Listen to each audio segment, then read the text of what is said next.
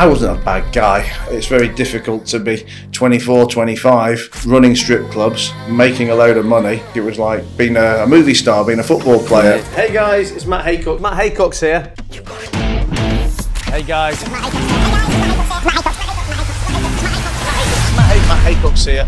Well, You opened 11. I had 11 strip clubs. I'd been learning how to borrow money, but we were completely over leveraged, literally within the space of about two months, and I'd been made personally bankrupt. I've been told by most people that, you know, well, that was it, I was finished. I don't have a, a motivating story to tell about how I went from bankrupt to not feeling suicidal to going and making money again. But I woke up the next day and I needed to put some food on the table, and uh, I had two choices. I can sit at home and talk about how the world's against me and this should never have happened that's not going to get me paid.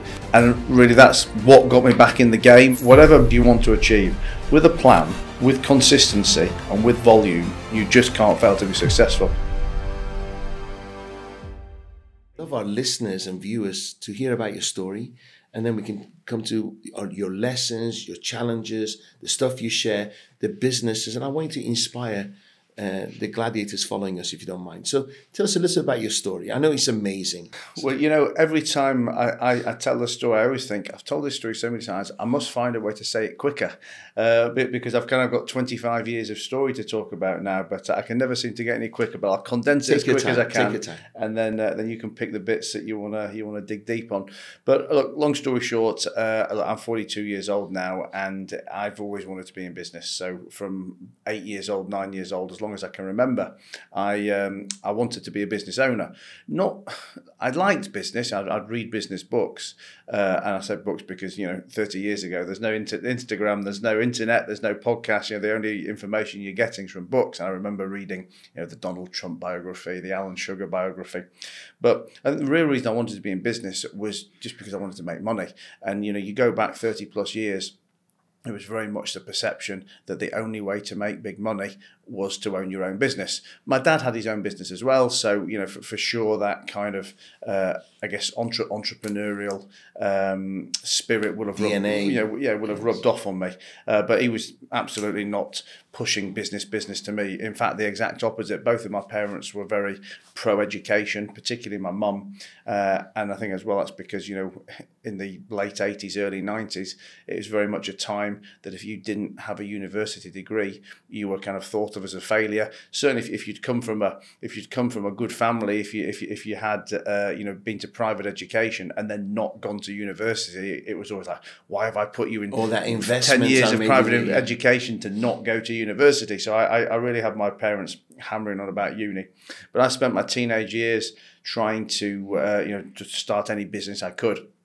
I'd buy. I mean, I know you're, you're from England too. Uh, we used to have a magazine there called The Exchange and Mart. I don't know if you remember. Oh, yeah, I you remember yeah, that, absolutely. which was kind of is that still going no, I don't think so. But I mean, back then, it yeah. changed hands a few times it? really, I, I mean, it was yeah. For anyone who doesn't know it, it's like ninety eight percent buying and selling crap. It's like I guess it was like a, a printed version of eBay back in the kind of eighties and nineties. But they always had a few pages of business opportunities, and I mean by business opportunities, they were basically you know some kind of Ponzi scheme that um, that someone was peddling through the post. But as a you know as a hungry slash desperate 14, 15 year old, you know I, I'd be buying everything, reading everything, you know, sending off my stamped addressed envelope to uh, to, to to try and get some information. I'd be buying product and selling it at the market. I, I you know, I, I was trying to buy domain names in, you know, in the kind of mid '90s to, to sit on those and, and flip them. Obviously, you know, not, not, nothing, nothing really worked for me. Um, and I finished school at 18. Wanted to avoid going to university. Like I said, my parents were desperate for me to go, uh, but I convinced them to let me take a gap year, take a year off, uh, and I would go and try and do some work. And I said, look, if everything fails during this gap year, uh, then I'll go back to university or I'll go and start university. And I ended up working in a family corporate clothing business, and that was that was my first, let's say, proper business. whereabouts in England was it? In Leeds, uh, yeah, I was Yeah. born in Leeds, raised always from there, and um, so this this was a business that my dad had invested in. It was a thirty plus year old business which had been through some restructuring, and in theory, my dad was supposed to um, just take a passive investment, and the the existing management team would carry on to run it. I went in there to work in sales. And you know I'd, I'd be coming home from work every day you know banging my hands on the table saying dad you know they're, they're running this business into the ground you know they're, they're taking the piss they're robbing you they're doing this they're doing the other and my dad kind of used to say, I agree, I can see it, but I just I kind of can't be bothered because he just sold his business at the time. And he was like, look, I've had 25 years of stress from business. I've had 30 years don't of your 30 years of your mother. uh, you know, I, I, don't I don't need this. And one day he kind of gave and said, you know what, you go and do what you want with it because you can't do it any worse than, than, than everybody else so he had done. controlling shares. He could have he yeah he did he did but he did by that point. When he started, he didn't. He had probably had ten or twenty percent, and then it needed more money and more money. So it got to the point where where, where he had control. This retail stores. No, it was uh, it was making corporate clothing, making uniforms wow, for security amazing. guards, bus drivers. like you know, very. Um, uh, it was just like I said, it was an accidental passive investment for him. It was not yes. something that any of us had any any prior knowledge of. So I went in this next day and basically fired everybody and we started the business from scratch because there kind of was no business. You know, the customers we had were dwindling and didn't want to deal with us. The banks didn't want to fund us. The suppliers didn't want to supply us. The staff were unhappy, miserable culture. Everything, uh, everything was wrong. So we st- we started from scratch, and over the next three years, uh, I guess I I learnt I learned everything a kind of an 18 19 year old who was in business could want you know could want to learn could you know could try and learn. I mean i always used to say i learned everything there was to learn but then you know i moved on to my next business afterwards and fa- fa- found out that uh, you know I, I, I, I, still got a lot to learn and i still find that every day today but I took that business over the next three years from losing about three hundred thousand pounds a year to uh, to making about thirty grand. And I always say it wasn't it wasn't big money, but it was the the con- the concept of you know fr- from the big loss to the small profit and everything I learned you know, in, in that journey. Never went back to university. I never went back to university. I, I, still say to this day that I'm keeping my fingers crossed that you know I can still still stay in business, so I don't have to join as a mature student in uh, in September. But yeah, no, you'll go in your yacht. Exactly. Yeah. But, but it's funny though because we go off on a slight tangent. But you know, no, absolutely never went back to university. Nor could I think of anything worse. But the older I get, the more obsessed with learning and education I do get, uh, and I don't look back and ever regret not going to university.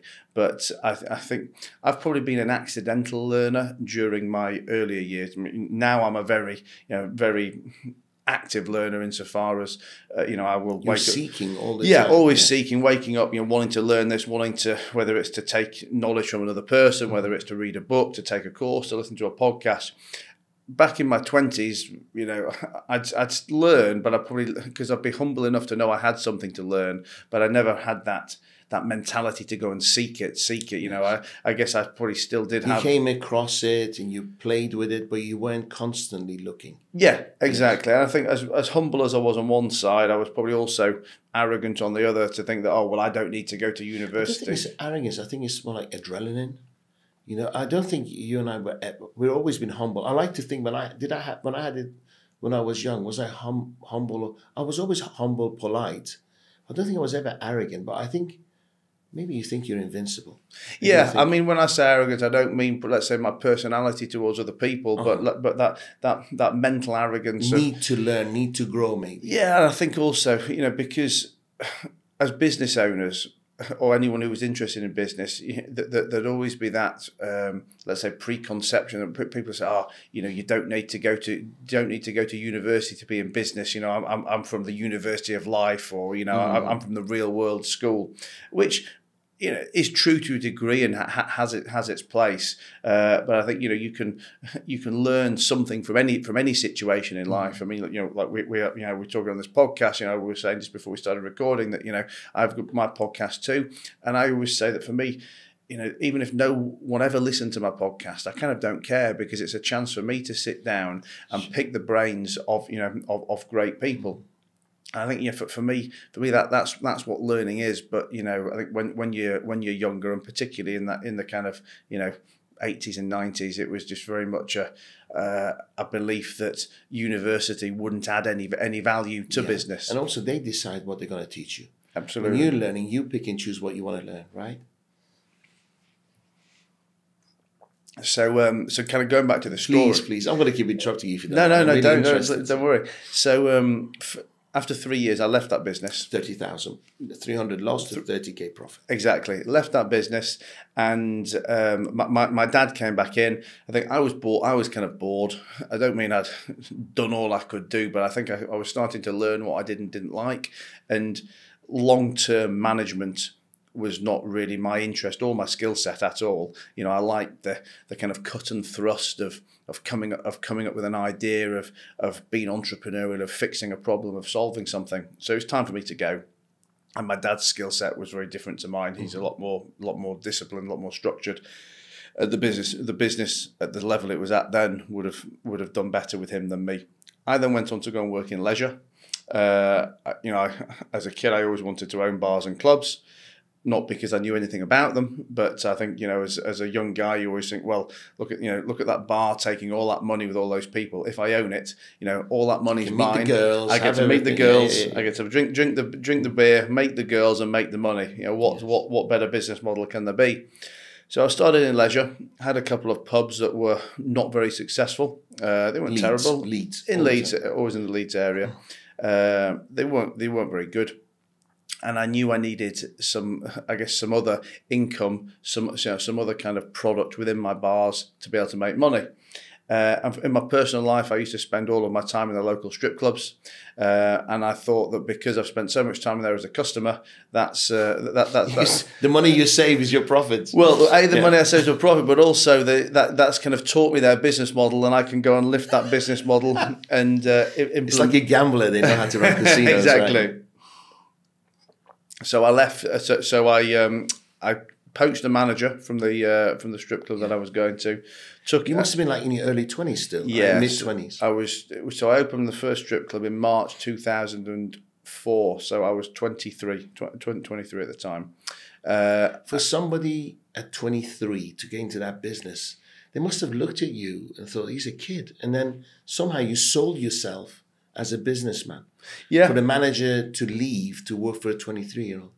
Yeah, I mean, it, it's it's funny because you know you look back and you think about those things more now when you're older, and yes. uh, and and and you you look at your younger self or you look at other younger people. But I guess you know at, at the time I I guess I didn't know any. I didn't really have any choice, did I? You know, I, I my age, my age was what it was, and uh, if if anyone had any any stumbling blocks or hesitations because of my age. It was just my job to uh, my job to overcome them. And I think, you know, I think, I mean, even today, and I, I make the mistake or or, or make make the, the rudeness, if you like, of, of when you see somebody young, you do immediately gravitate to the fact that ooh, you know they can't know know as much as somebody else. And I had this conversation recently with uh, one of my business partners who uh, I have a business with now. She's 27, 28. Mm-hmm. Uh, and this is, I mean, being young in any business is being young, but the business that me and her have together uh, is um, a financial services business where we lend money to law firms. Yes. Now, she's run that business for the last five years, four or five years, you know, since. She's been 22, of, 20, yeah, 22, 23. Uh, so, I mean, people look at a young at 27, never mind look at a young at 22, 23. But the, we were having this conversation. I think ultimately, unless the person you're talking to is just a total dick, even even if they look at you and go, "Hang on a minute, you're you're a bit young," and they're not going to say it, they're going to think it. As soon as they get one minute into a conversation with yeah, you, no they know that you know what you're talking about. And like I said, unless unless they're just a dick themselves and are, are going to be prejudiced about you for anything, whether that's because you're, you're young, because you're black, because yeah. you're whatever, yeah. then then it, it goes. as long as you've got the skills, as long as you've got the competence, you know, it, it, it goes it goes out the door pretty quickly, doesn't it? So. So you you the, you poached the manager. So poached the manager. You had the location already, and then you started looking for it. Um, you know, I, I forget exactly. I think I think I'd talked to him that he was going to come and work for me, uh, and he kept his other job at that time. But we kind of looked for a location at the time. Found a location in Wakefield. Did you have money in your pocket? So I did. I, I had some money. I had. I probably had, let's say, to my name, about one hundred and fifty thousand pounds at that oh, point, wow, which was which was from a combination of two or three houses that I'd uh, that I'd flipped, you know, along my earlier journey, and some bits of savings. So I had about 150 grand, mm. which was probably more than 99% of my peers, but certainly not enough to go to go and open a strip club. Um, so, I, well, I, I, guess I guess you you get me onto a specific specific story now. Um, So I found a cl- I found it found a club to buy. Well, It's quite an interesting story, right? So let's let's focus on that one. Yeah, I've got tons of questions actually. found a specific um, unit Wakefield. unit to buy in Wakefield. It was a freehold bar, so free freehold property, and don't hold me to the exact figures, but it was something something like three hundred and sixty thousand pounds. So I went to the local bank, uh, HSBC, um, in Can I have look at your business plan? Well, and which which I, I did I did did have all that, all that stuff. You know, we, we, we had a plan, um, and but this was in the days, and this was kind of probably wouldn't be possible now. This was in the days when the local business managers Could make the decision. could make some You decisions. didn't have to go to the head office. Exactly. take- yeah, yeah. I, I mean- I used to buy houses on a piece of paper. Oh, where is it? Yeah, yeah, I know. It's Summerfields. Yeah, here's here's hundred grand. Yeah, I mean, th- th- there was limits to their, you know, Yes, to the lending, but I think this particular guy could sign off up to about a million pounds.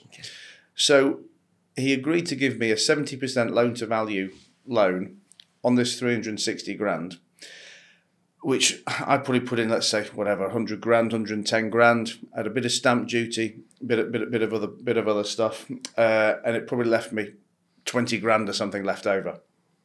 But I bought the building, but we now had to go and do a refurb, which was going to be about another three or four hundred grand, which I now had no money to no money to go and do it with. However, the bank manager had agreed that once once I'd done the refurb, once I'd had the building revalued, There was some margin for he, he, more he would, further he, loans. he'd then go go and give me a further loan against it. So if I could get to the end, I'd already had the valuers looking and say, well, when this is finished and trading, it's it's, it's going to be worth you know worth around a million pounds. Therefore, the guy that the manager would have lent me about a couple of hundred thousand or three hundred thousand. quite a lot more. Would have probably lent me another three or four hundred. And ba- Sure. basically, would have lent me enough for the refurb. to cover the full price of the refurb. But the problem was, I needed to pay, I needed to pay for it up front to get it back. Didn't have the money, uh, and thought, well, I've got no choice but to but to go on a wing and a prayer here. So I gave, I, I found a local contractor, gave them whatever I had left. This you know 15, 20, 20,000 pounds. That was my deposit to get going. We agreed a you know, a weekly weekly payment schedule, uh, and at the end of the first week, I obviously haven't got a penny to pay them with.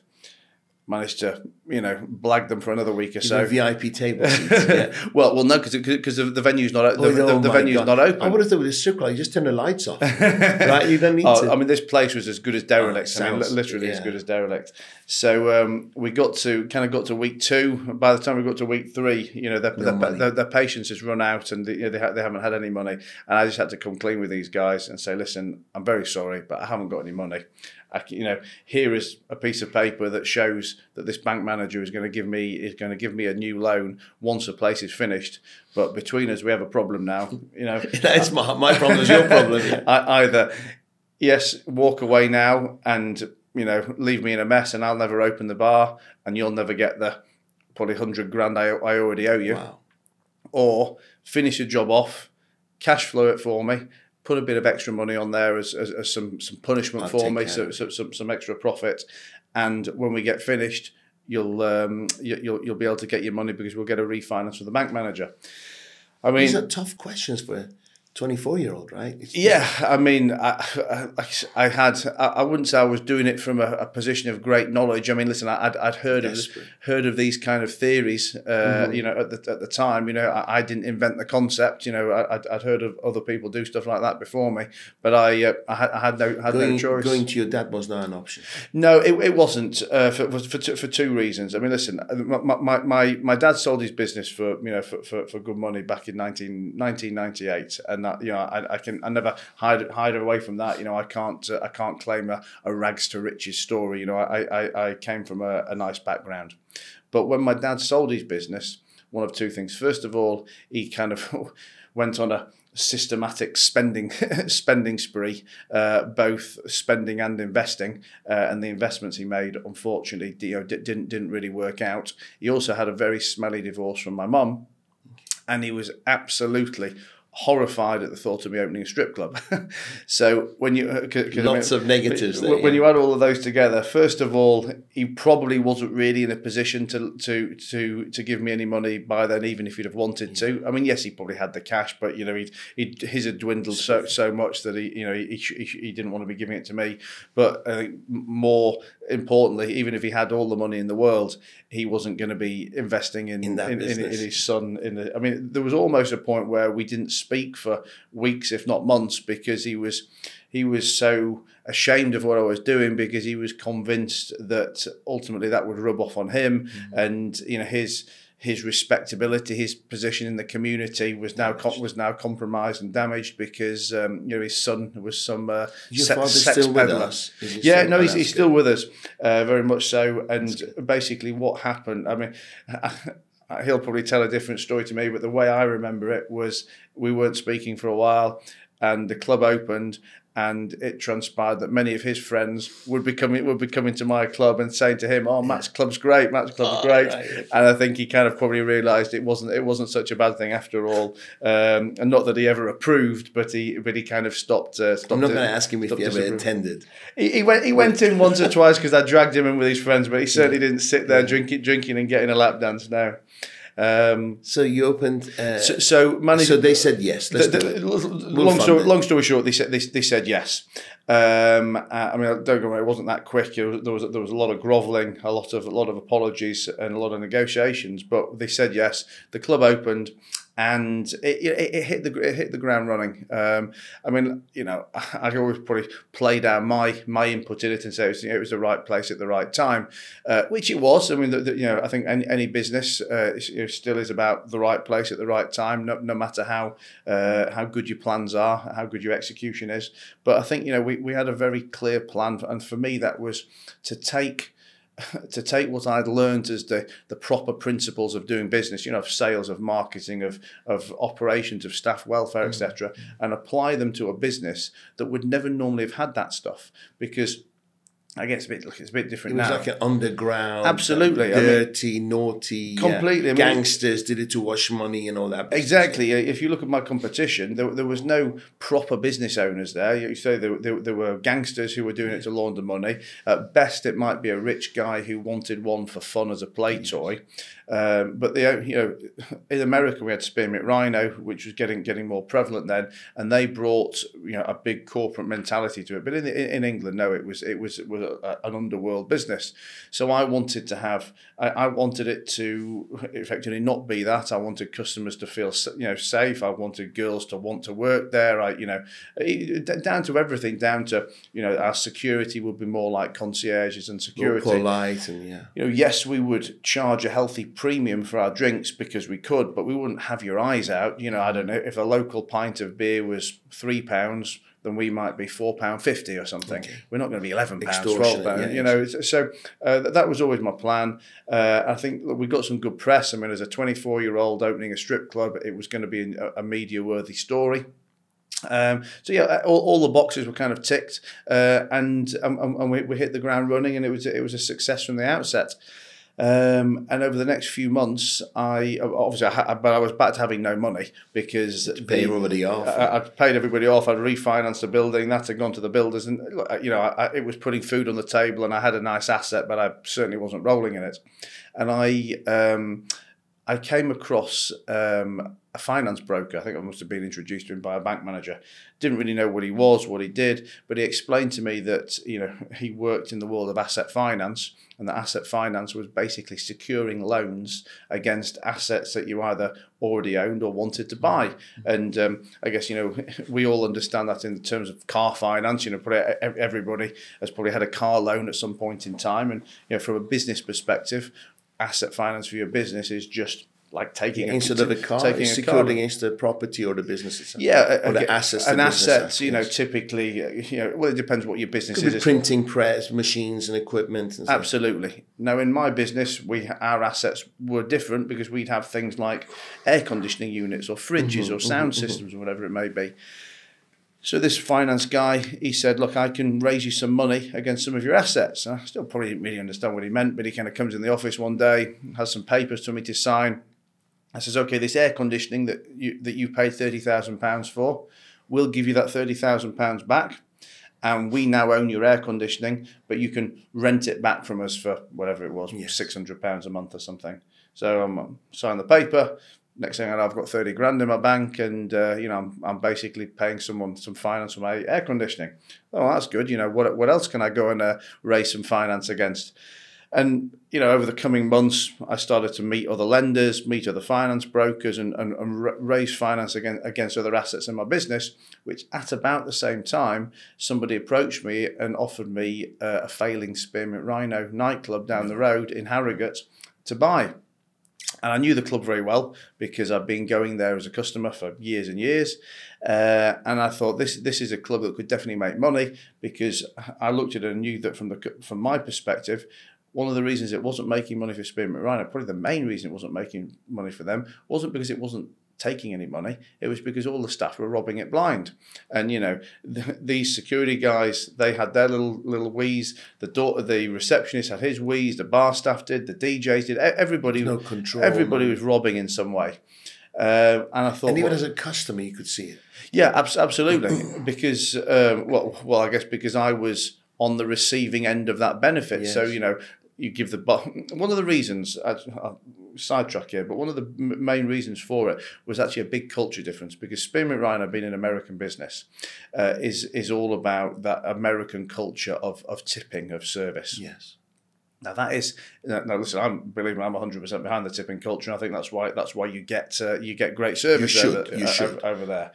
But in the UK, we you know we just we don't we're tight, aren't we? You know we don't tip, and if someone does give a tip, they kind of really expect something in return for it. So you, what you've got is the bosses at Spearmint Rhino were basically forcing tipping within the business and uh, but therefore the staff would go above and beyond to earn that tip. So, for example, the guy on the front door who's the receptionist, collect, you know, collecting the reception money, you know, me, you, and a couple of friends turn up, and instead of charging us twenty pounds each, and that being eighty pounds for the thingy, So ten each. So oh, I'll give him a ten pound tip. You know, Yes. and then they'll charge ten each or, Yes, or, or, yes, yes, nothing. yes, yes. You know, you go and tip the barman well. All of a sudden, he starts giving you free drinks yes. The girls are encouraged to tip the DJ. The girls are also, in, but this is by management. The girls are also encouraged uh, to tip the security staff.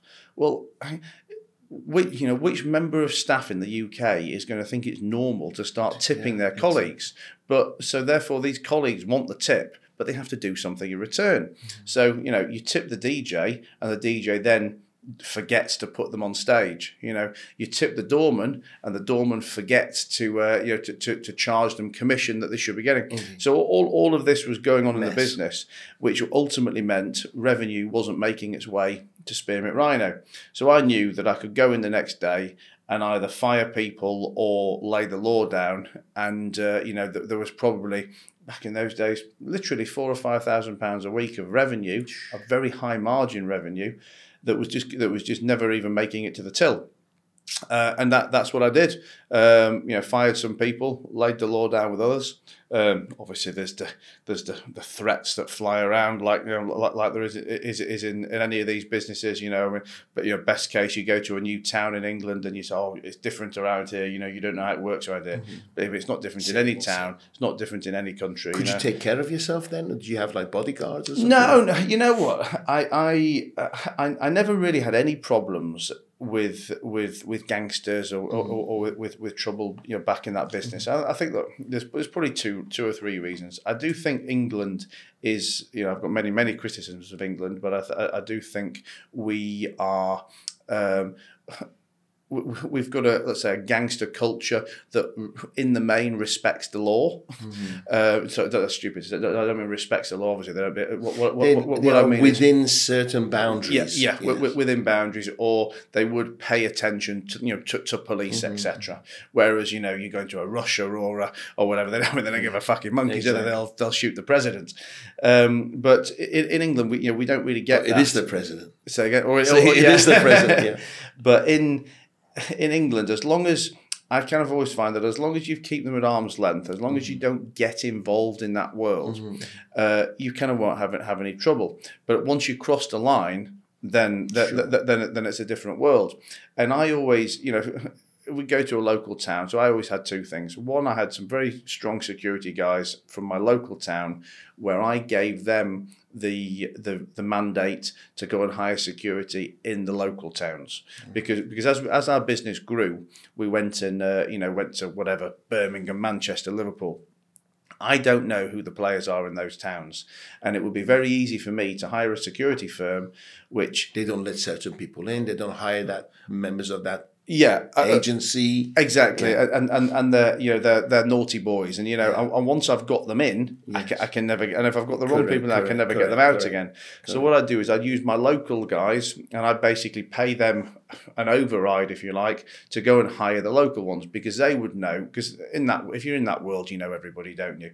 They would go to Manchester, and there might be, let's say, three families or whatever in Manchester, and they would know the right one to partner with. And then also, if there was any problems here, I wouldn't talk to the guys in Manchester. I'd talk to the guys in Leeds, Correct. and they would sort it out for me. So, so, so that was that was one clear strategy. Was it worth it? Having to think about all this stuff because I'm thinking one, you drop the ball once, and these guys can beat you up, beat the place up. To, I don't know, wreck the joint. No, I, I mean, look, we we, ne- we honestly never saw any, any, anything like that. And like I said, I think for for two reasons. W- w- One, we, we, we had the right people in Yes. because of that, that theory, and also, let's say you know the, the local gangsters or whatever wanted to come in, we, we'd always have very clear conversations that look, you want to come in, you're more than welcome to come in, but you won't be selling your drugs in here, Mm-hmm. you won't be misbehaving in here. You know, we can we can have a nice relationship with each other Yes. but this is a venue that you can come and have a drink and hang out in it's not a venue that, that you're going to be selling drugs or, or, or exerting any control over But they could bring 20 of their mates and stuff like this. No, you, you're limited to number of people you could come in. Oh no, no! so I, I don't mean we gave them fr- free reign to do whatever, but but y- y- yes, we may we may pay them, let's say, more respect than we would, you know, pa- pay a normal guy. As in, yes, for sure they could come in for free when somebody else could, but they're still paying for their drinks. They're still, you know, at the end of the day, look, if I knew you, I'd be letting you in for free anyway. So Sure. it, it's not it's not like they've got this special special Sure. pass. And they were quite reasonable if you treat them with respect. Ab- ab- absolutely, but I think the problem comes in when you, for example, then say, then say, "Oh yeah, you can sell some drugs in here, but give me a, mm-hmm. give, give me some drugs as mm-hmm. well, or give me a commission or whatever," and then then then you've crossed the line. Then you're in their world, Shit and then they've got you yes. by the balls, and and, and, and it's completely different. But because because we never crossed that You line, clean. you know, we, we never you know we, we never never really had, had any trouble. But listen, I I'll do clubs in England all day long because I, I believe that we have a controlled environment where I can operate like that. I always get asked, "Oh, why don't you do a venue in Spain? Why don't you do this in France?" And I wouldn't touch. I just would not go near any other country because over there it is a completely different mm. world where where the underworld run you know run the different locales. And you know like Marbella you know I, you know I have a house in Marbella I spend the summer there. Love the place but I couldn't think of anything worse than doing any business there. I mean you know I opened a bar in Marbella three Russians walk in the next day and say Matt we now we're now your partners what the fuck am I going to do about it you know So Russians are strong in well, or, or whether it's Russians or Bulgarians, or, whatever. or, or, or, it is the or- or- underworld, or whatever. Really. you- there, there's there's the real the real underworld, and you know, I, I, I don't want to set my life up to what be you to, say? be, to No, be in take that the whole world. thing. I'm off. Exactly. I mean, what, what, what, what can you do when someone goes, we, we're now your 50 50 partner? All right. Then next week, oh, you know what, Matt, we're now 75 25. really? I, I mean, it's, and, and you, you know, you hear these stories all I the time. I lived in. Estepona. oh, really? Yeah, for a couple of years. Hated it. I thought Costa del Crime. And all my neighbors were like dodgy and stuff like this. It was just like, it wasn't for me. You said, but I, I, do love it there. But I think I think it's kind of where like, like what you do or don't get involved in. Like you know, a lot of my friends say, oh, How, you know, "Why do you like Marbella so much?" You know, there's all these you know Liverpool gangs- gangsters on the run there, or there's all this crime in these mm. venues. Well, there is if you go to those venues, you know. But there's also lots of beautiful places there. And, you I know, actually really liked it, but I had some bad experiences with the Spanish police. I'll tell you later. so, um, one thing I, I don't hear you say, we're going to go to the whole journey as I was well. going to say, yeah, we Um, missed out I a lot never, of the story. I never hear you talk about like it was difficult hiring girls. No, absolutely not. The girls was was was the easiest bit because, Really? um, in simple terms, the girls go where the money is. Uh, so all all my job was to do was to provide a club which would be a high grossing club. Because if if the club was going to make money, that the girls would therefore make money. There's never a shortage of them. So I'm not going to say there was never a shortage here and there. For example, it's always easy to get people to work on a Saturday night than it, when it's very busy than it is on a Tuesday, Tuesday night when it's very quiet. But you also need different numbers. So let's say if, if on a Saturday we needed 40 girls, on a Tuesday, Wednesday we might need eight to 10 girls. So what? We, and and listen, there was also there was always some girls who would prefer a midweek to a weekend, Yes. uh, and just like say you know, just like salespeople who behave or or thrive differently in different environments. You know, you would have some girls who needed to work on a Saturday because they needed that heavy throughput of customers, uh, and and they would just go, da- you know, quick dance, quick dance, quick dance, because almost they weren't good salespeople. They were just hot girls, Relying on the- yeah, they were hot girls that were relying on traffic, and they therefore had an easy. So there's never a shortage of hot girls. short, I'd say there's a shortage of hot girls, but To but, the but, club. um, but the Looking at that kind of job as stripping. There's pl- there was plenty of girls. There, there wasn't there wasn't let's, let's say plenty of hot girls. Okay. But the other thing I learned very quickly as well is we all have our own definition of what is a hot girl, Mm-hmm. and uh, you know, I would when I first started, I was like, right, we're only going to hire the hottest girls, and they're all going to look like this. But two problems. One, that's my version of a hottest girl. You know, if I like whatever, if I like Blonde, blonde haired, blonde whatever, haired, yes. tall English girls, Yes. maybe you don't. You know, Yes, just, yes, just you know, just because I don't like short girls or you know Filipino girls or Yes, wha- wha- yes. wha- whatever whatever it may be, somebody else some, When- somebody when you else looked loves at them. revenue, were you shocked sometimes? Or you thought, no, actually, I can tell that. For instance, that lady with her personality. Well, did did a kind of pattern develop? So I mean, I was always shocked, you know, staggered at times by by some of the girls that would like. I'd look at a girl and, and this supermodel would walk through the door, and I thought, oh my god, she you know she's going to be earning fortunes, and she'd ultimately earn not very much or nothing, and you'd see her depressed at the end of the night, going, I'm not earning enough money. And what you again you'd learn very quickly is, well, hang on, you're not learning earning money for a couple of reasons. One, you're arrogant and you think that because you're really mm-hmm. hot, mm-hmm. everyone's going to come up to you and and ask you for a dance. Yes. Okay, that might be true to a degree, but not every not everybody's going to. And and secondly, uh, you know, maybe you just don't try. Maybe you just don't don't put any effort in. Then we've you know we had some other girls. I remember this girl. I remember to this day called Candy. That was her name, Candy, and she was a monster. I mean, this girl was utter, utterly horrific. Or rather, that was my that my my opinion was she was utterly horrific. She would earn fortunes on nights when there was no customers in there. Because she was proactive. She was proactive. She wouldn't take no for an answer. You know, if we if we if we switch this conversation into into sales, you know, she could objection handle. you know, she, she- Yeah, yeah. she Well, could it is sales. build a It is pipeline, sales, and, and, and, and Yeah. ab- absolutely They are a is. brand, You they know, uh, and and even things like you know pl- planning for the weeks ahead. You know, okay, uh, you, you, we've done a dance tonight. Are you going to be coming in next week? Because I'm going to be working Ah. Tuesday, Tuesday, Thursday, Saturday. I'd, I'd, I'd love to see you again, uh, or, or, or or whatever it is. Um, also, you know, we talk about how much effort do people put in. At the end of the day, they, they, they just like in a in a working environment in the office. If you're a salesperson, you come in and work for six or seven hours, eight hours, whatever it is in the office. If you sp- spend your eight hours smashing that telephone, you, Ultimately, you're going to make money. yes, exactly. If you spend that, you know, if you spend five of those eight hours messing around, texting, interneting, chit chatting in the cafeteria with someone else, yeah, planning, you're not you're not going to make much money. Apply that to the strip club thing. The eight hours that you're in there, you've got two choices. You can walk around dragging customers in and you know taking them for a dance and really extracting some money or you can sit at the bar and drink you can sit in the change room wait. and chat shit with the with the other girls and that that's just the strip club equivalent of the same as what Did goes on in the sales training? world. Do you say before they start, the key to success is this?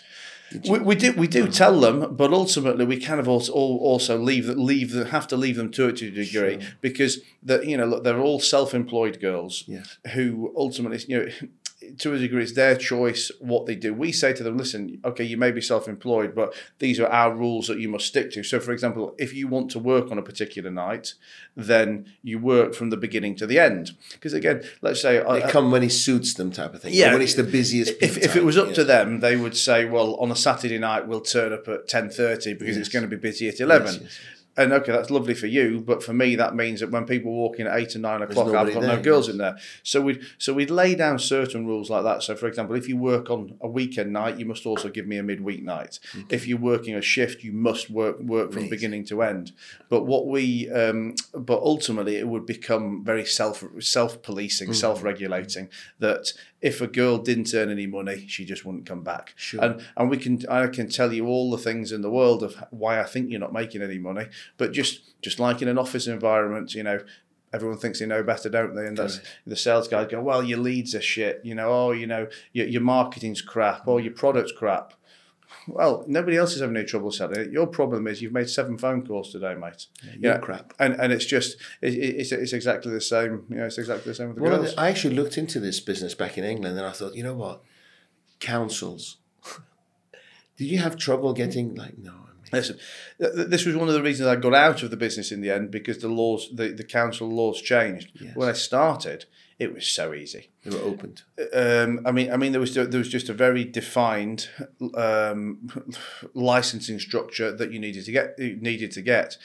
Nobody, you, your layman wouldn't understand it. That's why you know we always think it's so complicated. Just like in I don't know, like if somebody talks about the financial services business, oh, you don't want to get into financial services. It's so heavily regulated. You're well, okay, it is, but once you know what to do, you know you know how to navigate it. And it was the same attitude or the same logic with strip clubs. People go, oh, how, that, how do you get a license? That must be like a one in a million chance. Absolutely not at all. It's a very defined way that if you approach the council and say, I want to have a strip club license and this is my venue, And these are the parameters we're bum, going to bum, bum, with. bum, bum, Yes. then they actually legally have to give it to you. Obviously, I also also had our, had our lawyers who would work on our behalf to do it because hmm. there'd be time, you know some councils would want to try and fight the law from their side. Say, okay, well, it might be the law that you're allowed it, but we don't want it, so we're going to try and find a way to fight it. So we, we had our lawyers to deal with it all.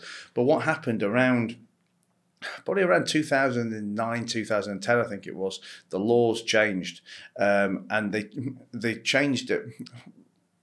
You're getting very technical and boring now but in the beginning the licenses used to be um, an extension of a normal bar or club license. You know in, in england i forget i forget what we call them but you know we, we- we ask for a, a public entertainment license that allows you to do dancing or you know entertainment and we have an alcohol license you know those, those two things. And every, typically, every public entertainment license would have one specific condition on it that prohibited you from doing any strip type entertainment. Okay. So what you would then just do is apply to the council and say, "Please, can you Separate remo- license, correct. Well, Or, or remove it. remove that condition. I see. Which, as long as you did tick tick tick, then then they had to remove it. And once you've got that license, you've basically got it forever. It lives with that venue forever. And unless you do something utterly stupid, you know, selling drugs or it wha- whatever, council. and even if you're doing that, you've still probably got two or three chances to correct yourself be- you know, before before they do remove it. But what happened was in 2010ish, I think it was, they changed the license uh, to what's called a sex establishment license, and that license is the same kind of license that. Um, Massage place. no, like a sex cinema or a sex shop Okay. or an Ann Summers or something, something like that. And the, there was two big differences. One was cost. The, these licenses, you know, the old public entertainment licenses used to cost about two hundred quid a year. These new sex establishment licenses could be costing twenty grand a year. Now, the money itself wasn't a problem because we were very profitable units. But the big issue was First of all, each council then could make their own rules on how many of these that they would give out, and they all lasted for one year. Oh no, you have to keep renewing. You, fighting have to keep, keep renewing and fighting for it. So all of a sudden, that just makes it very un, unviable to invest in the businesses Hmm. because you know if you're going to invest in a business where there's a three year payback, you need to know that well, at bare minimum you've got three years, don't you? I- Yes, I, ideally yes, more. But the problem with this is you've got a guarantee of one year, and it's not even like there's any How can you establish any business not knowing if you're going to have the license? in the Exactly, second and, it, and it's not even like you could take a commercial view and say, well, okay, you have to renew every year, but these are the parameters. So ninety nine they times out could of 100 will be change anytime. You're, you're at the whim of some local councillor who a isn't a business person and, and can never get the head around it, and b always wants some opportunity to you know to jump on the soapbox and talk, and that ultimately that's why we lost that. The only license we lost was the one in Leeds. All the other ones we kept, but we How lost many the did one you in have at the end?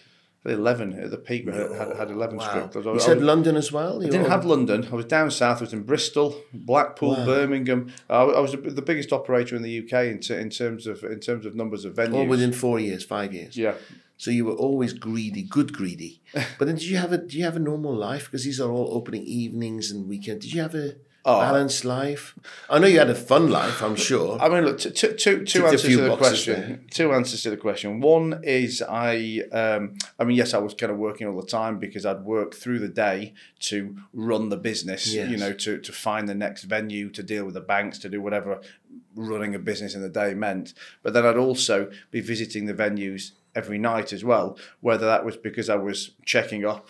Mm-hmm. Genuinely checking up, or whether it's because I was going in there drinking to enter, you know, to entertain some clients or Yes, entertain. so yes. I didn't really have any off time. But you know, I also listen. My my business today isn't really any different. My business life isn't any different to that anyway.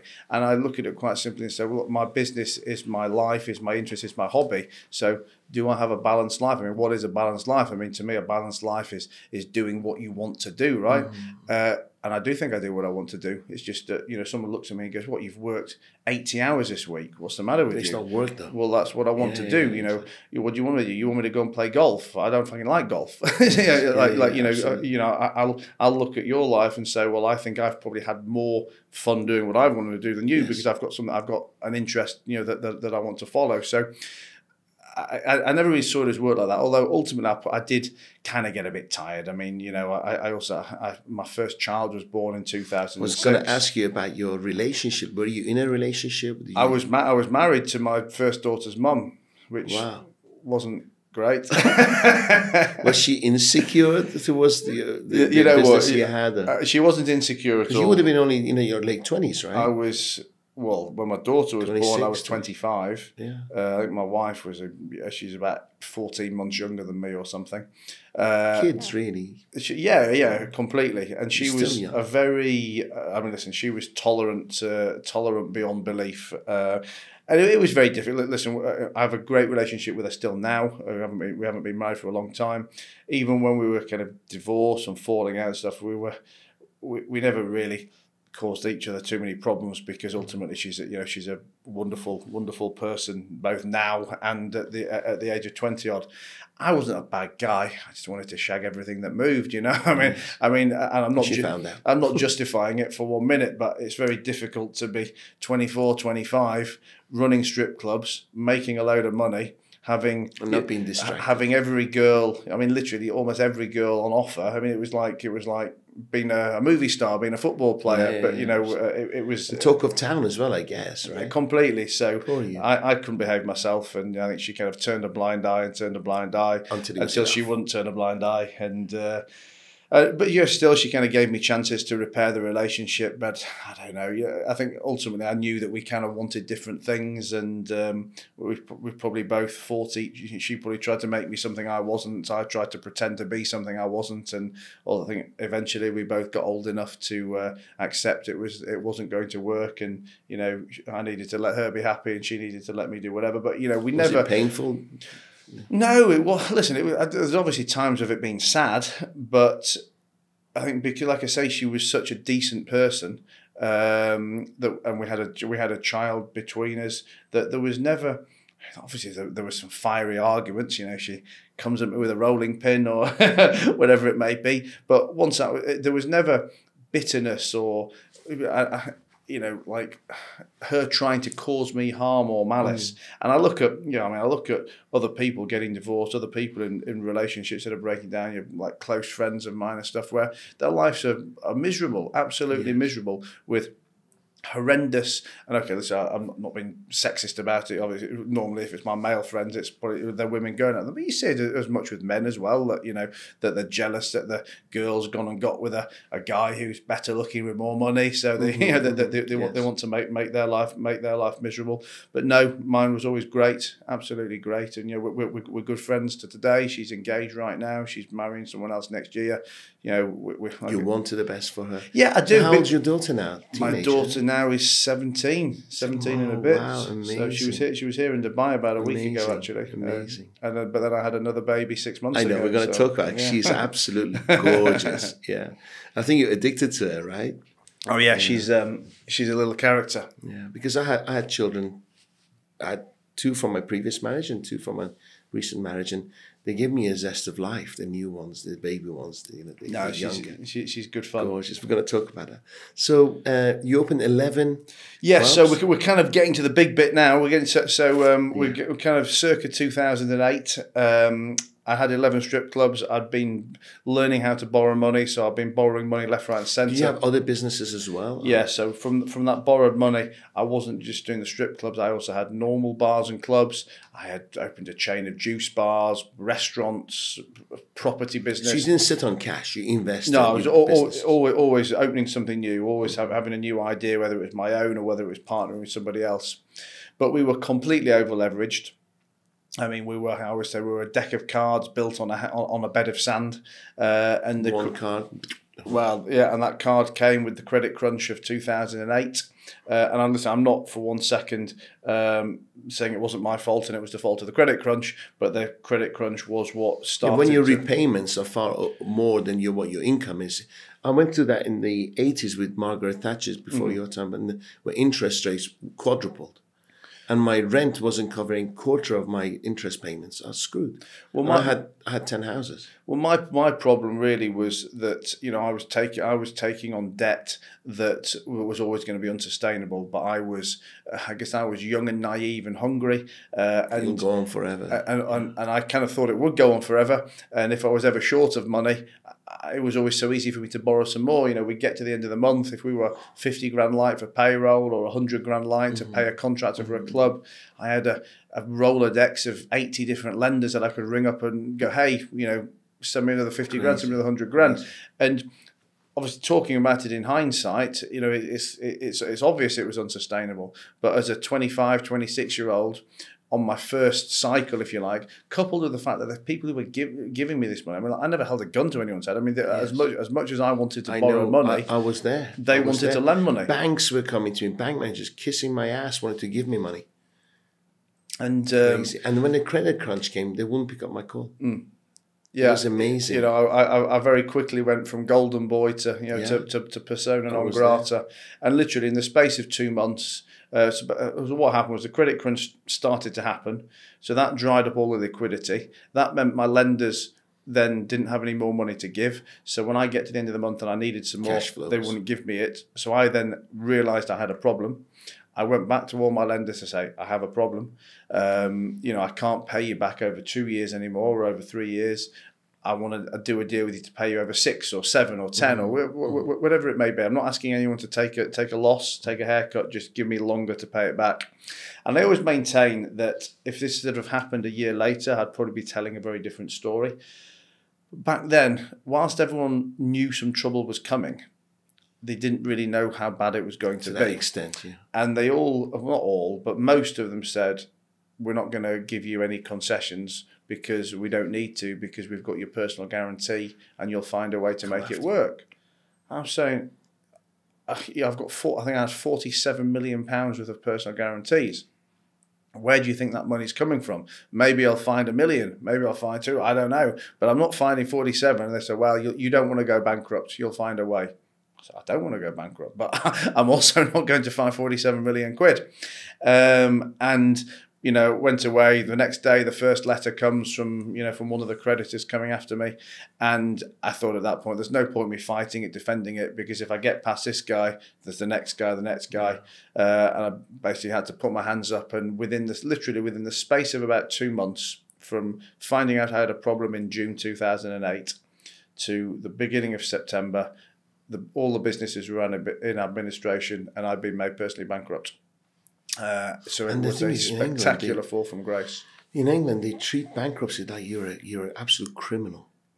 Well, well, I yeah, when Whether it's a 50 million, 500 million, 50,000.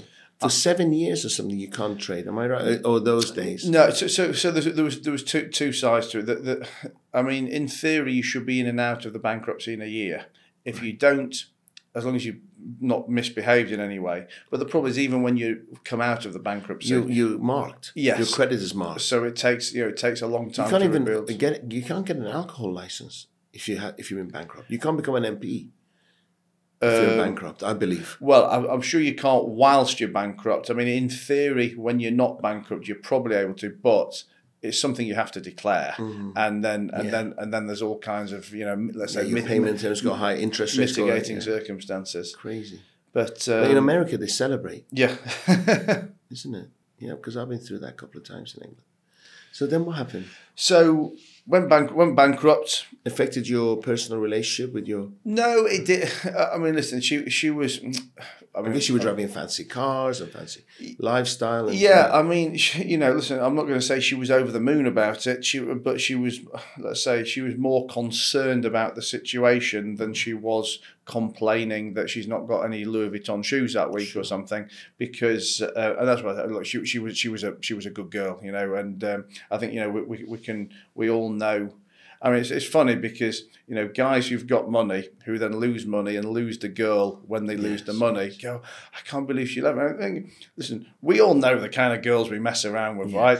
And and when you get with a girl who's got with you for the money, you know she's got got you with with for the money. I mean, maybe you don't care because you know you want the hot girl. uh, So it's a, a, a relationship of mutual you should be aware of what you're getting yourself into. But when you lose the money and she disappears, I mean, please Oh, don't why be surprised, surprised? you know. But no, she, she uh, we never had we never had that problem. I mean, She'd had more genuine concerns, you know, Mm-hmm. how we're going to look after our daughter, how we're going to pay the mortgage, etc. But ne- never was she she kicking my ass that you know we weren't driving a fancy car anymore. Um, but I, I always say that you know I never, I don't have a, a motivating story to tell about how uh, you know how I went from bankrupt to you know to not feeling suicidal to going and making money again because ultimately I always I didn't have a choice. You know, you know I went bankrupt one day. Uh, I've been told by most people that you know well, that was it. I was finished. I'm not going to be working again. Uh, but I woke up the next day and I needed to put some food on the table, and uh, I had two choices. I can sit at home and, and complain. I can watch Jeremy Kyle and you know say that uh, the world. I should be on that. Yeah, yeah, and talk about how the world's against me and this should never have happened. That's not going to get me paid.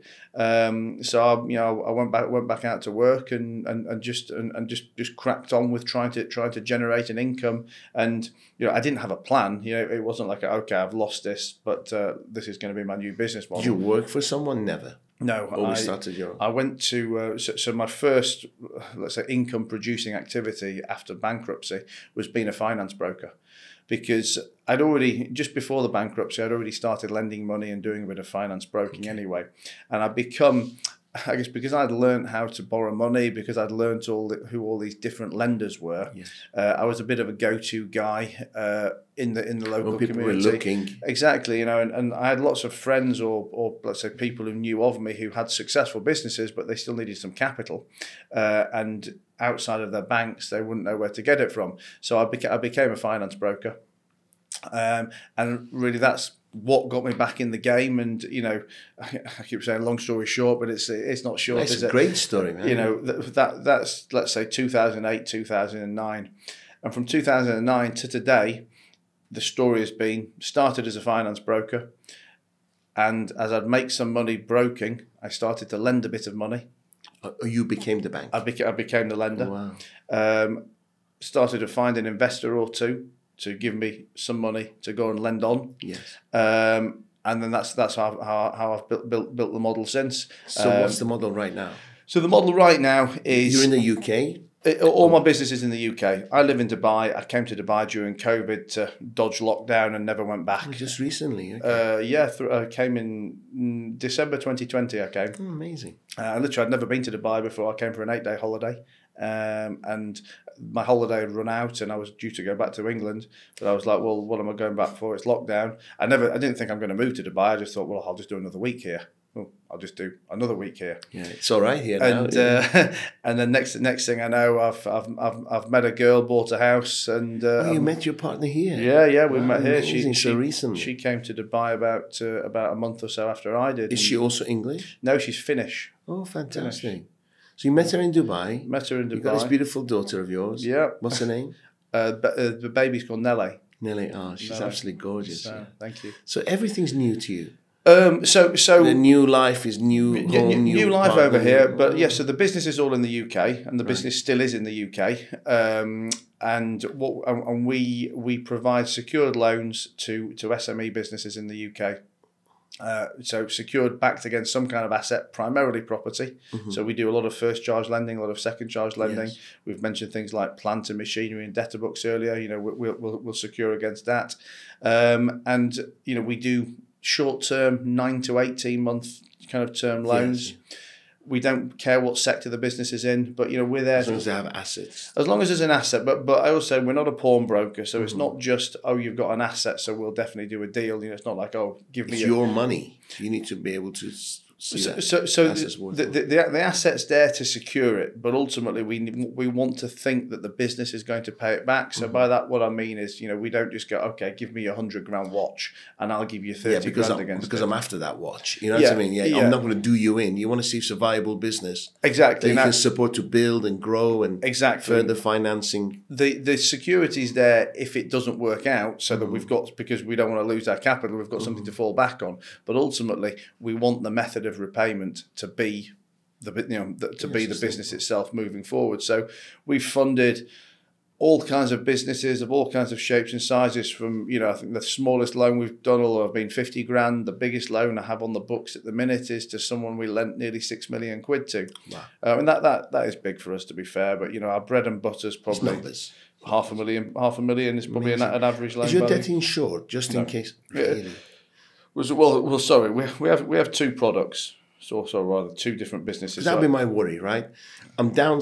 I'm giving this guy six six million, and he goes. Then it's going to take me how long to get it back? but it's not insured, but it's secure. It's secured against an asset that we can that we But can then assets is higher value than six million, so you're not going. Ah, okay. Back. Yes, yeah, yeah. So you're not going to sell an auction for a million. Down no, no, no. So, so, so you know, if we're lending against property, we'll typically be lending at seventy percent, Okay, you're always percent gonna be good. value, Okay. or we're taking, you know, we're taking a debtor book or a plant, machinery, car, you know, wh- whatever that may be. Do people come to you because they can't get it from the bank? So you're more flexible. So our two main re- our two main reasons to come to us will be speed and flexibility. So we have let's say very high quality customers who could get something from a bank who, who could get it from somewhere cheaper than us, but it'd be a lot slower. Yes. You know, we can turn a loan around in three or four days, whereas you know the bank's going to turn it around in two months or three months. Even another lender like us is probably going to be a month. So you know our higher quality customers they come to us because of speed. And then our let's say our lower quality, but I don't want to you know be too degrading to them. Let's say our, our businesses that have got some story in there mm-hmm. come to us because yeah, other lenders won't lend. Mm-hmm. But you know, for me, I always say that look, we f- try and find a reason to do a deal. Most of the lenders, particularly the banks, find an excuse not to do a deal. You know, so I could say, look, here's a great, you know, let's you. Go. Here's here's a great business idea, but not even an idea. Here's an existing business that you've got that's trading well. Here's an asset that we're going to secure it against um, to um, uh, in case it goes wrong. That's the asset we're going to take back. This is a nice deal. Yeah, but in in 2009 he went bankrupt in a health club. What the fuck's that? What, what's that? What's that got to do? What's that got to do with anything? And that's your decision. That's what makes you that flexible. If the bank's just, oh, oh, let's look into that. Yeah. Get the magnifying glass. No, and, and I'm not saying that we don't look into. it. Obviously, I want I want Yeah, to I want to know the happens, yeah. picture. I want to know who Tell I'm me dealing straight, with. yes. But you know, I, I'm not going to I'm, I'm not going to prejudice a quality deal now over a 15 year old story that, that, that bears no, no resemblance on it whatsoever. amazing. So, I mean, look, if, if I gave you, if I told you every single deal we've ever done, no two deals are alike. It's always a different story, a different amount of money, a different something. But there's always some compelling reason why we think we should do the deal, and some excuse as to why, you know, as to why some, you know, little guy in credit said that they uh, said that they shouldn't do it. So right now you you're cash rich, then you're looking for people to Listen, we're never in? cash rich. You know, if you if, you, if you're in the if, you- if you're in the lending business, it's the got- it's, it's the most capital intensive uh, game in the world. Um, I mean, we've always got more opportunities that we want to lend on than, than we've got capital to do. So I spend I spend probably seventy percent of my working life um, trying Filtering. try, trying to find new money. Wow. You know, I, am always building relationships. See, if I was an investor, I am. I invest. So, what kind of, if you don't mind of sharing it, what kind of returns would you be? So, so, so typically, our invest, depending on what the underlying loans we're doing are, our investors will earn anywhere between ten and twelve percent. Okay. Um, so let, us say, let's say our, our, our bigger bigger guys will be getting 12 percent per annum. Uh, you know, we have different kind of investment products. You know, we have Yes. a, a two year loan, like a two year loan note, a bond, Yes, a three three year loan note bond, uh, which A quick turnover. Your, your cash can be realized within two years absolutely if you wanted to. Absolutely. So, and you know what? I mean, ten percent of our guys want the money back. You know, the, but the vast majority just kind of Yeah, keep money's roll good. Keep it or compound it over a period of time. Well, ultimately, the typical investor for us is not Mrs. Smith who's down to her last 30 grand Yes. and needs it back at some time. It's a high net worth individual who's got, well, that's whatever, 2 million, 3 million, 10 million of assets. Yeah. And they go, they're, they're always going to invest those assets in a diversified portfolio. And let's say if they give me 500 grand of their money, mm-hmm. well, they're not giving me the last 500 grand. They've got money in all kinds of different places. And therefore, unless I've done something very stupid, chances are they're going to leave it, leave it with me forever and ever. I'm not going to say that's always the case. Obviously, the last nine months has not been a great time in the world mm-hmm. Mm-hmm. for anybody, and no matter how much money you've got, people have had a liquidity squeeze. So yeah, we've we've had quite a few investors who've wanted some money back. But you know, they've, it's funny. They've they've been very apologetic about it. Really saying, "Listen, I'm I'm, I'm sorry." It's my circumstances have changed. Exactly. No you, you've done nothing you, wrong. yes. We just need to get some capital back for a bit now, but I'm sure I'm going to come back to you in a year or so. Uh, but yeah, I mean, what we offer an investor is a very passive return. Uh, it- it's, it's a strong return, you know, 10, 11, 12%, asset backed. Nice and passive, uh, and I mean, there's no rocket science to what we do. You know, we pay our investors 12, we charge our borrowers 18, 19 You make the margin. we make the margin in the middle, but we find the we find the opportunities. We underwrite them. We manage them when there's problems. We you know we, we deal with them. You know a lot of a lot of times you know when you're talking to people like oh well I can go and I can go and make a loan myself at eighteen percent. What do I want to give you twelve for? Well, fine, but then go you go go go and, go and do my job. You know, okay, you, might- you might think you're getting eighteen percent, but how much time then are you wasting trying to find the deals, trying to you know trying to structure them, trying to do everything else, and more importantly, what happens when it goes wrong? Because it's very easy to lend money, it's a bit more difficult to collect it, and you know people can say, "Oh well, I've got a lawyer, or he's told me that this is going to happen. He's told me that's going to happen." Yes, in theory, when things go wrong, this is the process that will play out. But the reality is, there's so many nuances, so many little things that you that you just don't know until they, until they've gone wrong. Uh, and you know, I've managed to have lots of things go wrong, and I've managed to you know lose lots of my own money over the years, so that you know, I, I know you know I know what can go wrong, and ultimately that's that's what an investor's getting by working with us. You know, they're getting they're, they're getting the 10, 11, 12 percent, but they're getting it The hassle, free because we've got you know we've got years and years of experience. The only downside is the bloody inflation, isn't it? It's so high at the moment. It right? is, but but that's also. I mean, look, that's a problem with, what, with whatever you're investing Mm, in. Exactly. that you've got to decide: look, are you investing for capital gain, or are you investing for income? And ultimately, I mean, look, the, the higher the return you're getting, the higher the risk, has to be. It, it, it just has to be, and and I guess you know, the, the problem isn't us as an investment opportunity. The problem is with inflation itself. Um, and I think So that leads me to the sorry. yeah, Where do you think this recession is going to hit? I don't think it's even started. Yeah. I, I, I, I really don't. I think it's going to come in the next two months. My personal opinion. I mean, look, I, I'm I'm I no think December is. I'm no economist in terms of you know let's let's say you know talking about the specifics of the of, of inflation and, and that kind of thing. But from a from a recessionary perspective, I mean, listen, if we go back to We've been talking about recession since 2017, 2008. I can't believe even probably during. COVID we didn't hit recession. Well, right? well, that's that's the, I mean that's the thing that really rings back to me. I remember that you know 2019, 2020.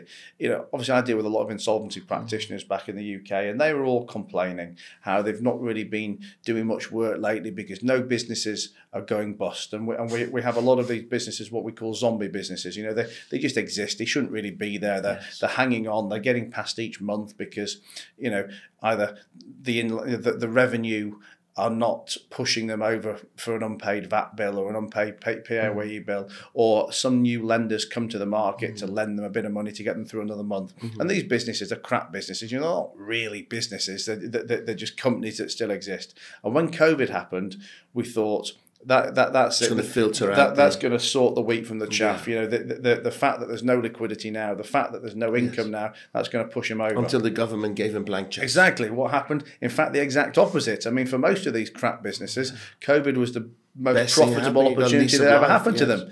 So, so they've they- they've then had another, like you say, another lease of life. It's dragging on another year, another another couple of years, and then when we came out of COVID, this, you know, the, I didn't really feel a liquidity crisis. Uh, you know, I know from me raising money from investors, there's still still plenty of those out there, and I know from other lend, you know, other lenders, they were still hap- happily dishing money out. It's only really the last six or nine months that it that the liquidity really is drying up. That you know that that um, it's harder to get loans or that loan to values have decreased. But even though all that's happened, we still haven't seen the knock-on effect of of a housing crisis, of of of, of businesses going bust, etc. I mean, I mean, yes, okay, you're starting to read more press uh, that house prices are declining, and I'm kind of more specifically talking UK here because that's my market. But you know, house prices are declining, or, or businesses are struggling. Okay, but they're still they're still not going, but you know, they're still not going Exactly. bust. You know, yes, house prices may, may be declining, but no one's had a gun held to the head to sell them just yet, and, Yes, yes. and to and to, and to really realise what they are. So, Do you think a recession is a good time for you? I think I, I think I think it be a correction? I think it will. Listen, for, for me, it'll be it'll be a bit of both. It'll be it'll be tough on the business that we've already done because undoubtedly we're going to have people who are going to be slow to repay us. But because we've been planning for this and knowing that this is coming, we've been a lot more sensible on the deals that we've lent on. Um, so even if you know, even if some of our borrowers don't or can't pay us back on time, we should be comfortably asset secured. Um, so that uh, that won't be fun, but you know that that that, that is what it is.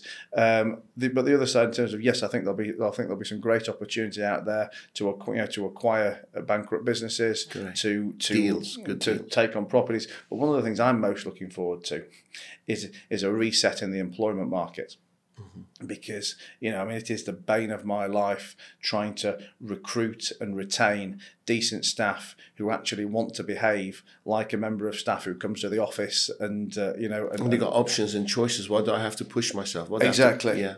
And Why do I have to smile? Why do I have to be And- early? and there's and that and that is going to change. That yeah, I mean, I mean we're, we're already seeing it with with the with the mass tech layoffs in the in in the US. Yes. Uh, and what happens in the US will happen to the UK. What happens with the tech companies will filter down to the smaller companies. But again, for me, that hasn't even re- re- really begun it's yet. coming. And so, look, is it going to be in the next two months? I don't know. Like I said, I, I can't. I'm, the, the US is going to run out of money. The consumer, they're going to run out of gifts that the US government Mm-hmm. gave them by at the rate of spending by the end of this month. right.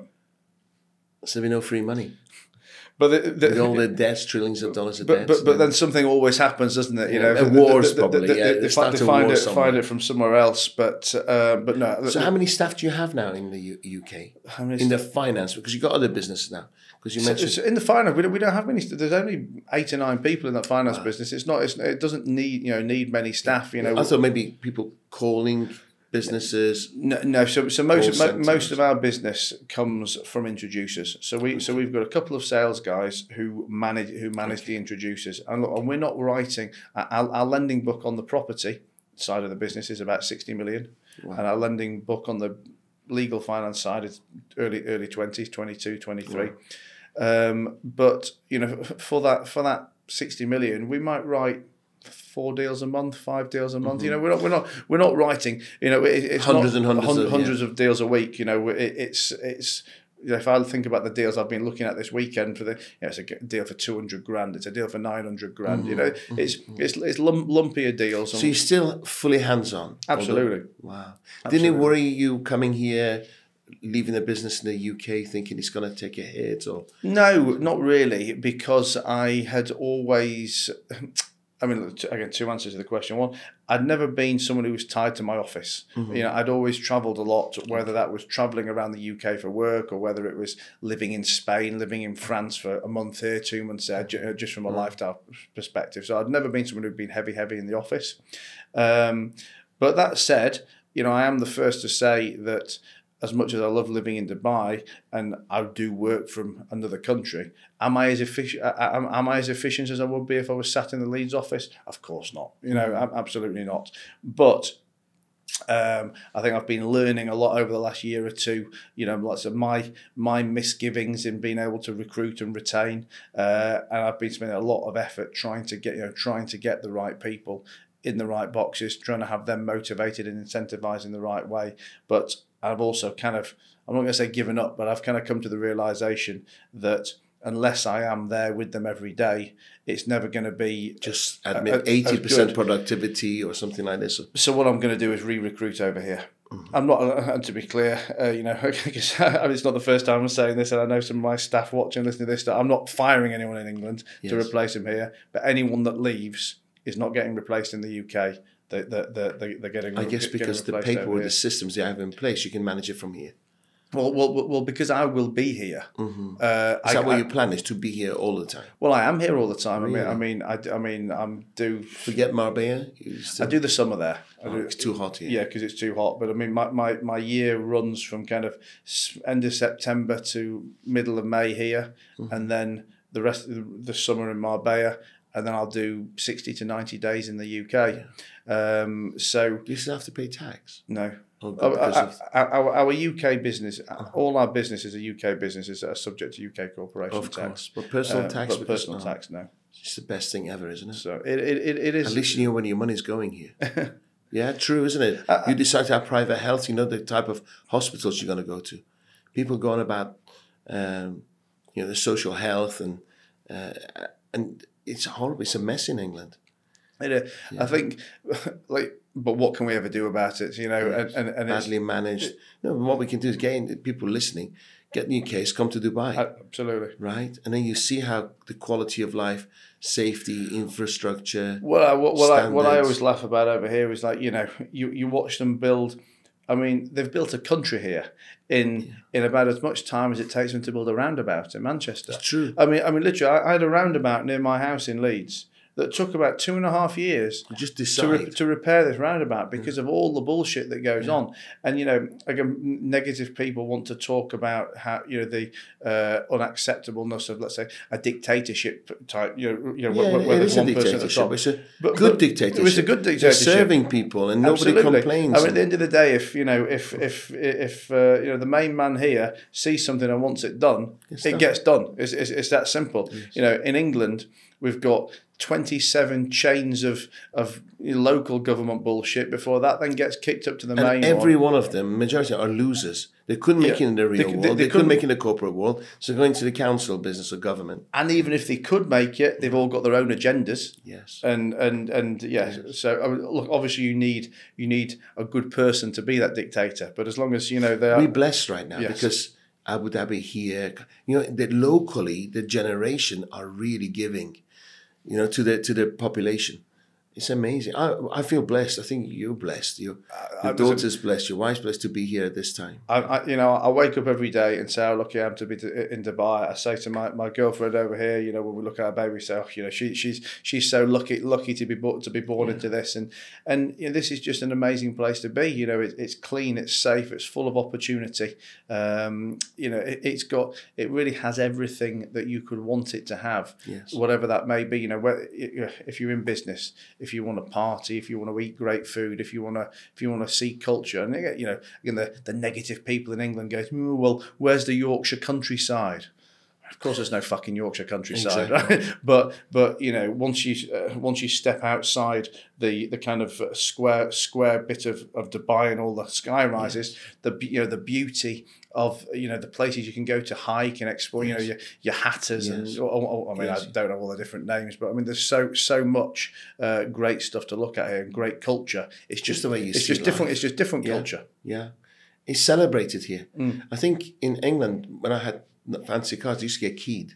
Here, they take a photograph. Yeah, They get inspired by it. So you you got a boat. I've got a boat, the Sea Squirter. So what is that? I'm not. I'm, I used to have a boat in Thailand. Oh really? I used to have a place in Thailand. So what's the size of this boat? Because you kindly sent me an invitation. I don't know if you ever recall. Yeah, I do. I, do remember. could, uh, maybe I was away and I couldn't attend, and then you you you never asked me again. Well, uh, you know what? I, I've been out of town, but we've got another dinner this Friday night. So if, you, if you're free on Friday night, Yeah. F- Ah, Saturday. no. But next week we'll do. You Okay. can come I'm going to. China Oh, really? the week after. I'm going to take in my. I, I went to Paris with my nine year old, and the bonding time had was incredible. And he's really into history. Okay. So I'm taking to the Great Wall of China, the Terracotta amazing. Associate for one week. But this Friday, I never go out. This freaking Friday, my son's friend's dad has invited us. Oh, really? Only yesterday. Well, I would look, have come. I'm back in town So now. tell me about this boat. I so, mean- so look, I've, I've So always you like you you like the water? I've, I've always liked boats. Uh, I've, uh, you know, over the years, I've I've chartered a couple of times. I've been a sharer on somebody else's boat before, um, and I got the opportunity to buy this one again during COVID, and I just chartered it, you know, for the summer or two before, and I, and I didn't know where COVID was going, uh, and I thought, you know what, if I buy a boat. I've got a. I've got it to kind of live on and have fun with, but we can move around depending on what's going on. Because if you remember back to to let's say the summer of yeah the summer of 2020, and also going into 21, different European countries would have different rules at different times. Yes. Spain was on lockdown, Yes. but then France wasn't. France was doing this, but you know whatever. Italy wasn't. Italy, you're correct. And I thought, well, if I can have the boat, then first of all, if anything happens in France, we'll just sail across to Spain or to Italy or to wherever it mm-hmm. may be. And worst case, if everyone goes on shutdown, well, I've got my own own little floating palace. So that's that's kind of that's kind of why I bought it. But I also thought it was, it, you know. I needed to pay for itself in some way, so I was always going to use it as a, as a marketing tool, as a, as a as a as a corporate entertaining tool, and that's what we did for a couple of Do years. you live on it? So we used to before Marbella, we, we we lived the last couple of summers on it Amazing. um, like three and a half months or something. But then last year we bought, bought the place in Marbella, and at the same time as buying that, Elena got pregnant. And she, well, I think for multiple reasons, we were killing each other, you know, living on the boat by the end of the summer. She also, being pregnant, didn't want to live on the boat the next summer, you know, course, with the because she, cause, cause she knew we'd have a baby. Uh, and I kind of agreed. I, I th- so I put it up for sale because I thought, you know what, even if I go and do a couple of boys' trips on my own, what we're going to do two weeks, three weeks. yeah. I can't, I can't justify ha- having it for, for you know for, for three weeks use or something. So I put it up for sale in France. Didn't get didn't get any interest. Uh, yeah, there's a lot of boats on the market in Europe. But you bought it in Dubai? No, you bought it. No, no, Europe? bought, Oh, bought, bought, bought, bought In it. In, bought, it was it came from Italy, but I bought so I bought it in France, kept it in France, put it back up for sale. Didn't get any interest, and I thought, look, I'm not desperate. I'm not going to slash the price in half or something. Um, but then I thought, what I'll do is I'll move it to Dubai, because if if it's going to be for sale, I may as well sell it in Dubai. Correct. Um, Potentially markets better. well, I, th- I did think that you know there's less less European boats here, so you know hopefully the price will be the same, if not better. And I thought, well, at least we'll get to use it as well in the meantime yes. while it's up for sale. So I moved it to Dubai. Uh, it came here last January, well, th- this January, right? Yeah, lose track of time. By sea. No, it comes on the back of a shipping container, so it's not not not a cheap affair. Uh, but I thought, what it costs me, I'll probably get added onto the capital value here. Anyway, to us, it's moved here since uh, it took about three and a half weeks or something to arrive, and since the day it's arrived, I've never even bothered sticking it up for sale because I've had I've had so much use from it. And it's, it's a very different kind of use in Dubai than you know yachting's very different here to how to how it is in Europe. So you know in Europe it's kind of very much full weeks, Great, go to island sleepovers, to island, exploring. yes. Whereas in Dubai, a because few hours in the water and come back. yeah, you know, whereas over here, like you say, four hours here, two Yes, hours there. So I've really used it as a as an entertaining marketing, you know, kind of corporate tool. Yes, obviously I have fun on it myself with my friends. You know, Elena uses it with her friends, or we hang out with the baby or whatever. But you know, like we just talked about the dinner, w- at least once a week I host a dinner for ten or twelve people. Wow, I'm coming. Definitely coming. Do it. Just have to get the dates. you know, clients of mine, I just, you know, because I don't charter it, I don't take charter money, sure. but you know, clients of mine, I'll give, I give it to them to, you know, to, to, to use, Yes. and um, and uh, you know, I guess just, you know, build, build value, build marketing, kudos, etc. So that, I mean, the boat gets used four or five times a week. Do you have a captain, full time captain? Three- three, three full time crew, yeah. Good God. So it full-time costs you a fortune, right? it, it, it's they're very expensive, Mm. and there's no, you know, uh, uh, you know, boat owners have always got ways of convincing themselves how they get to do it cheaper than someone else. That's bullshit. There is no cheap Costs way to, to run a boat. But my two, let's say, justifications are one is enjoyment, but secondly is business, and there's no way that I don't make it pay for itself. Mm-hmm. You know, with, with with the people that I entertain on board. And again, you know, if someone wants to be negative, they'll say, "Well, you don't have to take people. You could take them for dinner In in a restaurant or or something.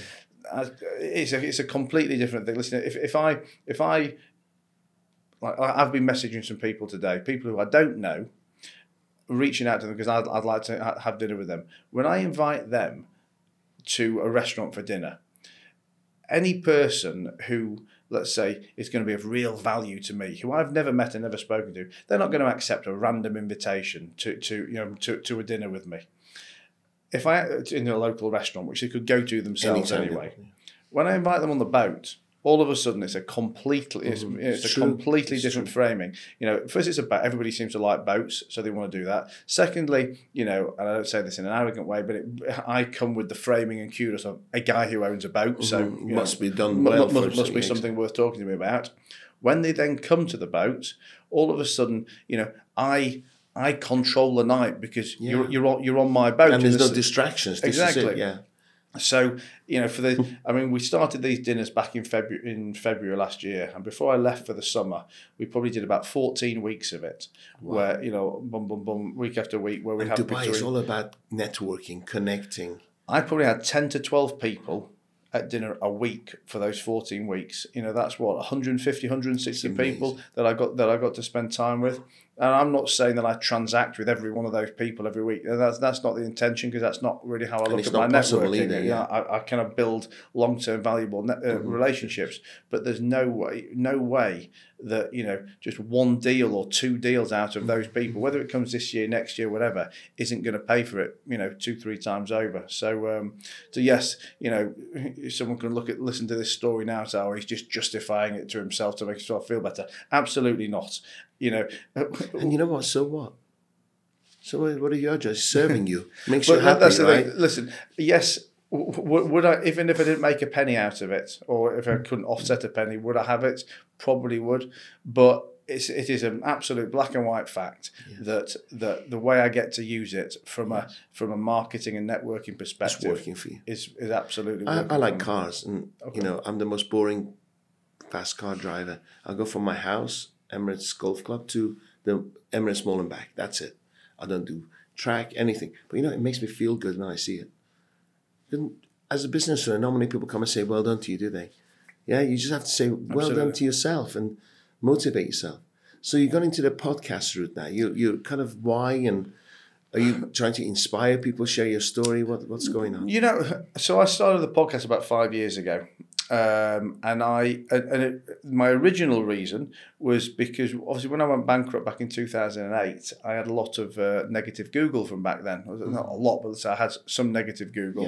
Um, but because there'd been nothing new on Google, even in 2016, 2017, if you Google me, um, it still taught You find had, had some smellies from kind of 2008 which was becoming a bit of a problem for me in you know work, working in financial services. You know, I'd go to let's say a, a bank meeting, someone who, who I didn't know, would be getting on good. After the meeting, they Google me, and all of a sudden they wouldn't take my call anymore. So This is what we discussed before yeah, the interview. That I had this in 2009. Incredible. And you don't know where it's coming from. absolutely. You don't know where it's coming from. Yeah, and it shocks you every time. So I needed to do something to improve that p- p- um, position. So what? Obviously, at the time, I had some PR guys that I'd work with, and we'd create new content. You know, we'd put out whatever you know press releases, or you know, try and get you know coverage in newspapers. But one of the best ways, and you know, this is obviously you know tip for anyone listening who wants some online presence. One of the best ways to uh, cl- uh, will start to get some online presence is to use all the different social media channels because they're all such high authority sites that if you've got a presence on Twitter, Instagram, LinkedIn, It's Facebook, goes to etc., the top. Mm-hmm. these are all page ones of Google. So all of a sudden, you know, if you Google Matt Haycox, then I've then five or six of the first page of Google is already taken up by these things, Yeah. and so I created all these and YouTube, you know, so I created all of these profiles, but then I needed some content to put on there.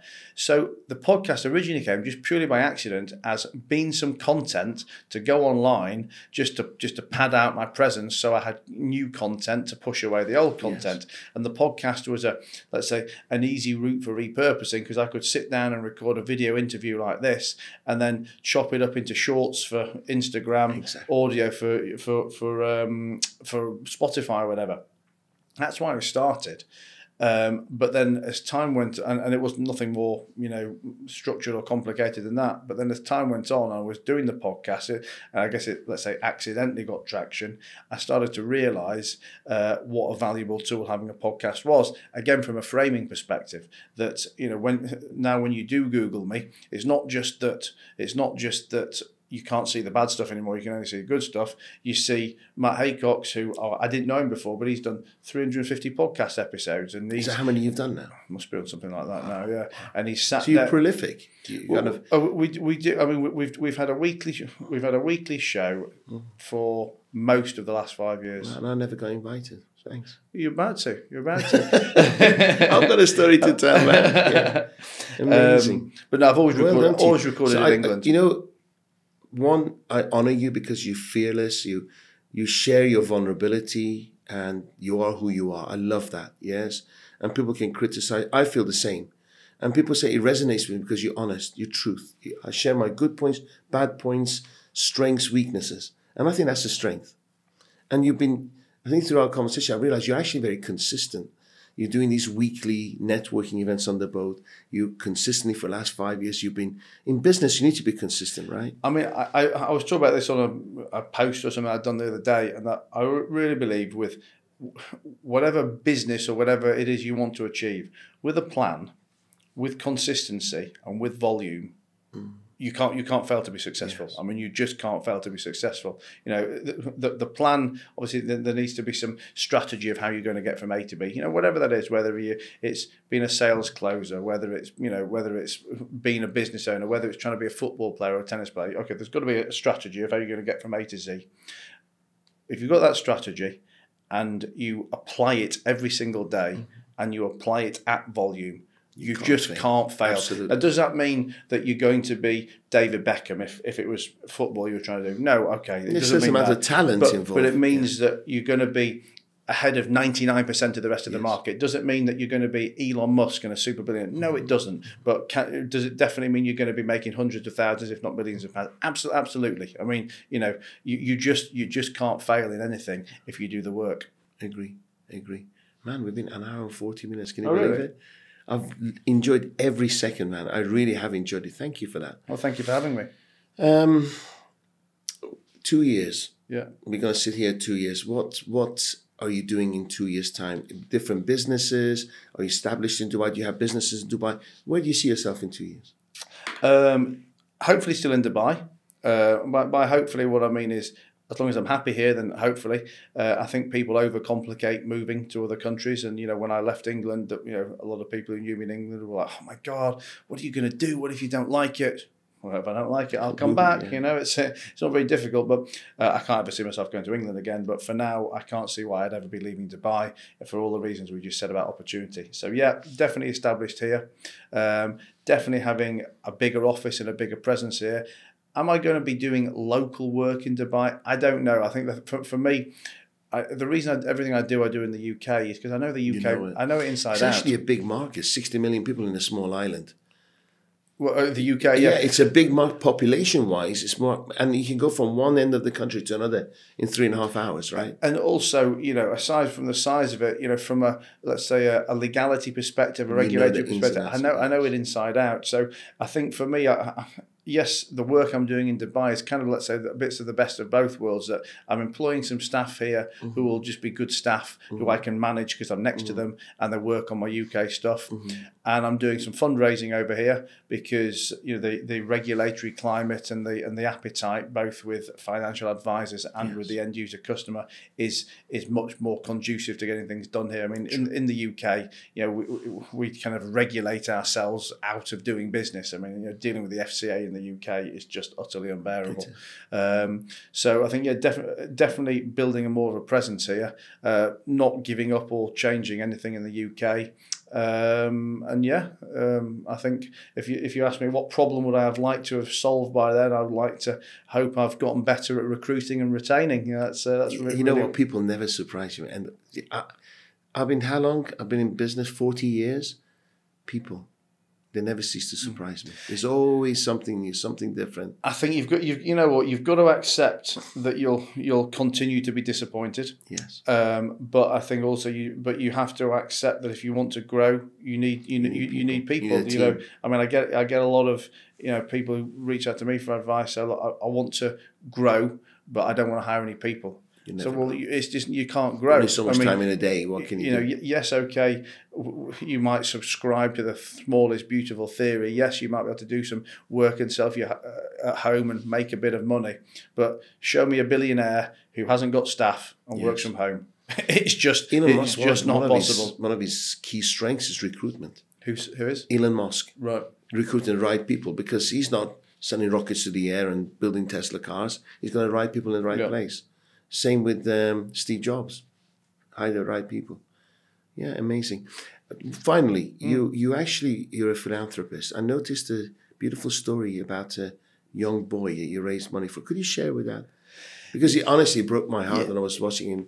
And by the way, the way you've written your website, and we're going to put your website details, Sure. everything on.